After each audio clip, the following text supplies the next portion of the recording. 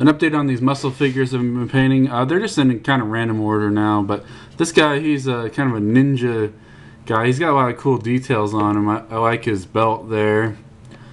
Uh, I wanted to make him kind of a, like a black ninja, so I went with that there. So that, that's just some base coats there.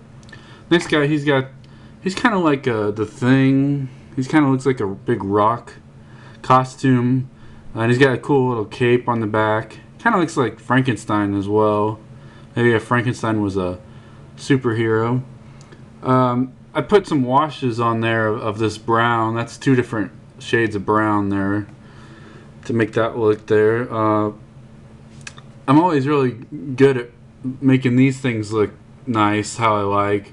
But uh, I got to work a little bit more on my blending on the other ones.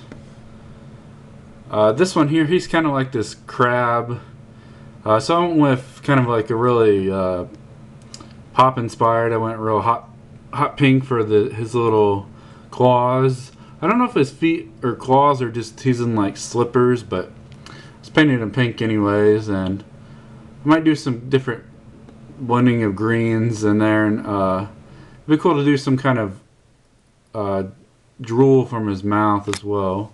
But that's just base coats on there. This one here, he, I don't know what he's supposed to be. He's kind of like a medical guy. He's got all these uh, plus signs on him. So uh, just went with this black and white color scheme here.